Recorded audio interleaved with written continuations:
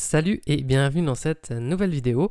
Aujourd'hui je vous propose un tutoriel assez rapide et assez simple sur Illustrator. On va voir comment créer une montgolfière comme celle-ci avec quelques nuages. Et c'est parti, on va commencer tout de suite. Donc je vais créer un nouveau document. Je vais le faire assez, petit puisqu'on est sur un petit pictogramme ici. Donc je vais le faire de 200 pixels par 200 pixels. Et euh, au niveau des autres réglages, je vais mettre en couleur RVB et 300 pixels par pouce et je vais faire créer. Tout de suite, je vais prendre mon outil rectangle ici et je vais dessiner un rectangle en partant du coin en haut à gauche et en allant jusqu'en bas à droite. En fait, ça va être un, carré plus précisément qui va me servir d'arrière-plan. Donc, je vais désactiver ici la couleur de contour et je vais double-cliquer ici pour changer tout simplement ma couleur de fond. Alors, je vais mettre un code hexadécimal euh, qui correspond à un, bleu, euh, un bleu ciel. Donc, j'ai choisi 59 CEF 7 et je vais faire OK. Ensuite, je vais aller dans Objet, Verrouiller, Sélection, où je fais le raccourci clavier Commande 2, et comme ça, je verrouille mon objet, je risque plus de le sélectionner par erreur, et ça me fait un arrière-plan. Ensuite, je vais simplement changer la couleur ici euh, de fond, je vais mettre par exemple un, orange. Je vais prendre mon outil, euh, mon outil ellipse, et je vais dessiner une ellipse. Alors, je vais maintenir euh, la touche Shift et Alt enfoncée. Donc Shift et Alt, ça me permet de créer une ellipse parfaitement ronde depuis le point où j'ai cliqué, depuis le centre en fait, euh, comme ceci. Et je crée mon ellipse. Donc une fois que je me retrouve avec cette ellipse, je vais prendre mon outil ici Sélection directe. Euh, alors non, pardon, je ne vais pas prendre la sélection directe tout de suite, je sélectionne l'ellipse et je vais prendre plutôt mon outil plume. Et en fait, en venant ici, je vais maintenir la touche Alt enfoncée donc j'ai un outil, euh, on voit que mon curseur change et je vais faire un clic sur ce point. en fait, ça me convertit mon point d'ancrage euh, qui devient un, sommet. Et maintenant, ce que je vais faire, c'est que je vais cliquer dessus, je peux le déplacer. Alors je vais maintenir Shift enfoncé, comme ça je ne vais le déplacer que sur un seul axe. Et je vais le descendre comme ceci pour donner une forme euh, un peu de montgolfière mon, à mon ellipse. Donc là, il y a la forme qui commence à apparaître. Ensuite, donc, je vais euh, sélectionner ma forme à proprement parler. Je vais faire commande C ou CTRL C sur PC pour la copier. Et je vais aller dans Édition, coller sur place. Et je clique. Et là, en fait, ça se voit pas, mais ça m'a collé ma forme sur place. Alors là, je vais changer la couleur, je vais mettre du blanc. Et ce que je vais faire, c'est que je vais sélectionner la petite poignée ici. Et je vais maintenir Alt enfoncé. Et je vais réduire comme ceci, de manière symétrique, ma forme. Et là, on voit que euh, la version copier-coller, eh elle se réduit comme ceci. Je vais reprendre ma forme orange ici, je vais faire commande, euh, en fait comme je l'avais déjà copié, je peux simplement refaire coller sur place, donc je la recolle encore une fois, et je vais faire de nouveau euh, Alt en même temps que je clique sur la poignée ici, et je vais la réduire encore une fois. Alors on va aller à peu près jusqu'à ce niveau-là. Et euh, j'ai réduit, alors tout à l'heure je l'avais fait, euh, fait encore plus de fois, euh, donc il faudrait que je recommence. donc je vais agrandir encore une fois celle-ci, celle-ci aussi, et je vais refaire encore une fois. Alors je vais reprendre la, la, version blanche, donc je fais commande C, je vais dans édition, coller sur place, et je maintiens Alt enfoncé, et je réduis comme ceci. Alors après, à nous de mettre un niveau de largeur qui nous satisfasse. Là, je vais considérer que je suis plutôt, euh, plutôt bien. Ensuite, je vais prendre mon outil ici rectangle et je vais dessiner un rectangle sur le bas comme ceci. En fait, je vais couper la pointe ici de, ma forme.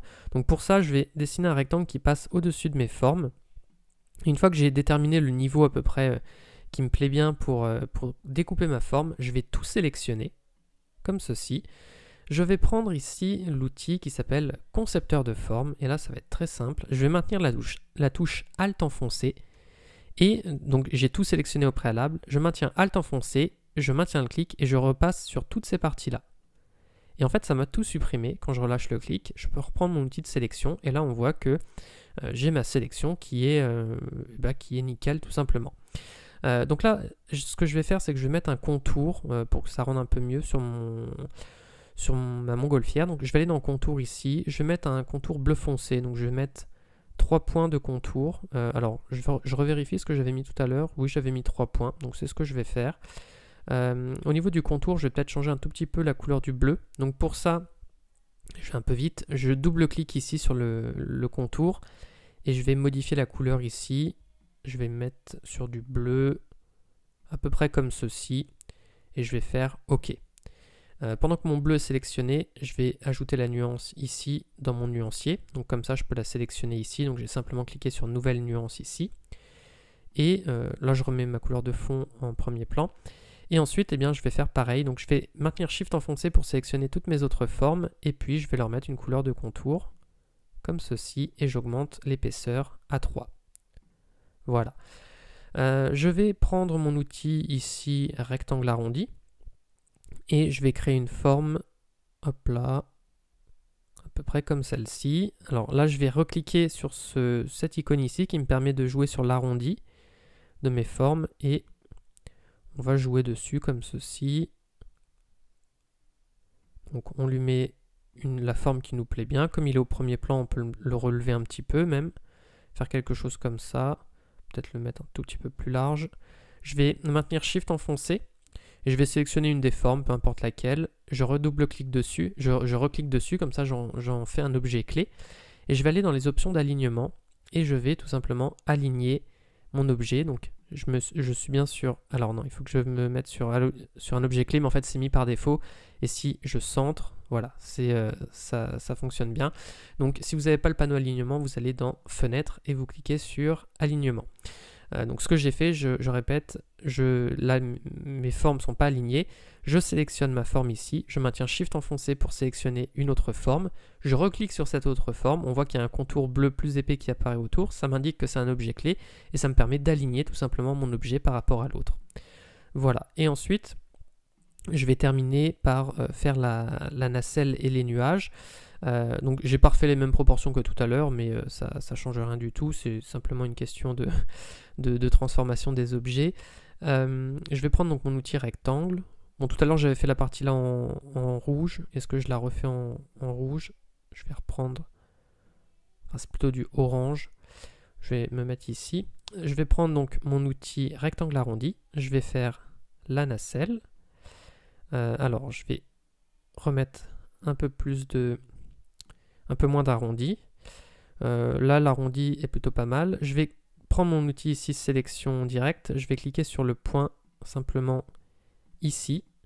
Alors, hop là, je clique simplement sur celui-ci et comme ça, je bouge seulement celui-ci et pareil en haut. Et ensuite, je, je vais peut-être redimensionner la forme de ma nacelle pour lui donner une forme qui me plaît bien. Je peux maintenir Shift et Alt enfoncé en même temps que je redimensionne, comme ça je redimensionne bien depuis le centre. Et on va se mettre à peu près à ce niveau-là. Donc là, grâce au repère commenté, je vois que je suis plutôt bien aligné. Euh, si jamais j'ai un doute, je sélectionne par exemple mes deux objets. Celui-là, j'en fais un objet clé et j'aligne. Donc là, c'était pas tout à fait aligné. Et comme ça, c'est bien aligné. Euh, il me reste à faire euh, alors les, petits fils qui retiennent la nacelle, les cordages disons. Pour ça je vais prendre l'outil plume, je vais désactiver la couleur de fond et je vais simplement cliquer ici. Je vais maintenir Shift enfoncé, je clique ici, donc une fois que je suis euh, en haut, je reprends mon outil de sélection, je vais sélectionner cette forme, je maintiens Shift et Alt enfoncé et comme ça je la déplace vers la droite en la dupliquant. Je vais sélectionner les deux, alors je vais peut-être voilà, un petit peu plus vers les, les, espacer un peu plus. Je fais commande G en sélectionnant les deux. Donc je sélectionne les deux, je fais commande G pour les grouper. Je maintiens Shift enfoncé. Je, je reclique ici pour faire un objet clé et j'aligne correctement. Euh, alors là, je trouve que ma nacelle est peut-être un peu petite par rapport à ce que j'ai fait tout à l'heure. Euh, donc je vais l'agrandir un peu. Voilà. Je vais lui donner à la limite les mêmes proportions que à cette forme-là. Donc euh, je vais aller, voilà, je vais mettre des repères commentés. Et là, c'est peut-être pas mal. Alors par contre, je vais la faire un tout petit peu plus courte. Donc ça, je vais le remonter. Et ça, pareil, je vais le remonter. Et comme ça, j'ai quelque chose de plutôt pas mal. Alors je peux tout sélectionner, faire commande G ou CTRL G sur PC pour tout grouper. Et maintenant, je vais aligner sur le plan de travail et je vais centrer tout correctement sur mon plan de travail. Il me reste pour finir à faire les nuages. Alors pour faire les nuages, je vais prendre l'outil ellipse. Je, euh, peux désactiver tout ça pour le moment. Je peux me mettre simplement en blanc à la limite. Euh, alors je ne vais pas prendre l'ellipse, pardon, je vais prendre le rectangle arrondi et je vais faire un rectangle arrondi comme ceci. Je vérifie donc en cliquant ici que l'arrondi est au maximum, donc je veux des bords vraiment bien arrondis. Ensuite je vais prendre l'outil ellipse et puis je vais dessiner des ellipses, donc en maintenant Shift et Alt enfoncé. Je dessine une ellipse que je place à peu près à ce niveau-là. Je la duplique en maintenant Shift et Alt enfoncé. Celle-ci, je vais l'agrandir un peu. Je maintiens Shift enfoncé pour l'agrandir correctement. Voilà. Et ça, je vais réduire un petit peu la forme.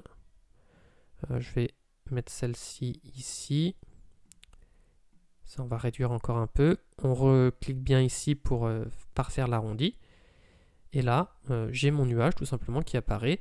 Alors après, peut-être que cette forme-là, je pourrais peut-être la mettre un peu plus en haut, à voir comment on, place nos formes. Mais simplement avec des rectangles arrondis et des, et des ellipses, on fait nos nuages. Je sélectionne tout, je vais dans Pathfinder et je vais cliquer ici pour tout réunir. Et comme ça, j'ai une seule, euh, une seule forme. Et puis, on va augmenter l'épaisseur du contour, toujours sur la même couleur que tout à l'heure. Et on va placer tout simplement notre nuage là où on veut. Je maintiens Shift enfoncé pour le redimensionner sans déformer. Et puis, je pourrais le dupliquer en maintenant Shift et Alt enfoncé et faire un clic droit, aller dans, euh, je vais aller dans Transformation, Miroir, je vais choisir Vertical et je fais OK. Et voilà, j'ai euh, fini ma création. Donc euh, c'est tout pour ce tutoriel, j'espère que ça vous aura plu. Si c'est le cas, je vous invite à mettre un like et à vous abonner à la chaîne. Et j'en profite aussi pour vous dire que j'ai créé une formation d'une heure pour vous aider à débuter sur Illustrator. Donc si ça vous intéresse, vous avez juste à cliquer sur le lien qui est dans la description. Sur ce, moi je vous dis à bientôt pour une prochaine vidéo.